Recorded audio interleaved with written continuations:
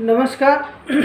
Welcome to my YouTube channel दोस्तों, आज मैं आप लोगों को बीच में नई टॉपिक लेके आया हूँ विटामिन सी विटामिन सी क्या है?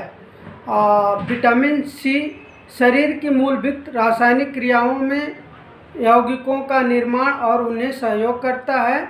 विटामिन सी कई तरह की रासायनिक क्रियाओं में सहायक होता है, जैसे कि तंत्रिका तंत्र तक संदेश पहुंचाना या कोशिकाओं तक ऊर्जा प्रवाहित करना। इसके अलावा हड्डियों को जोड़ने वाला कोलेजन नामक पदार्थ, ब्लड वेसल, लिगामेंट और कार्टिलेज इत्यादि को स्ट्रेंथ पहुंचाना। विटामिन सी कोलेस्ट्रॉल को भी नियंत्रित करता है और विटामिन सी के कमी से आँखों में मोतियाबिंद चिड़चिड़ापन भूख भूख से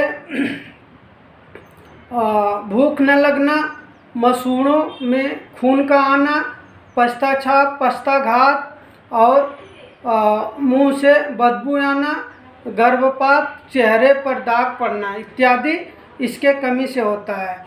आ, इसके स्रोत क्या हैं? इसके प्रमुख स्रोत जो होते हैं, वो रसीले फल, आंवला, नारंगी, नींबू, संतरा, अंगूर, टमाटर इत्यादि।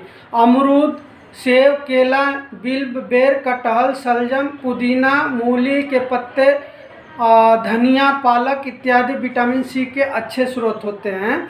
और जैसे जिसके गम से ब्लडिंग हो रहा हो या अल्सरेशन हो रहा हो, उनके लिए विटामिन सी की गोली 500 से लेके एक ग्राम तक पर डे दे सकते हैं और जिसका वज़न होता है पचास से साठ किलो, वो एक ग्राम तक डेली ले सकता है। दोस्तों, इसी के साथ मैं अपने बाड़े को विराम देता हूँ। यदि ये मेरी वीडियो आप लोगों को अच्छी लगी तो चैनल को सब्सक्राइब करिए, वीडियो को शेयर, कमेंट और लाइक ज़रूर करें। जय हिंद, जय भारत।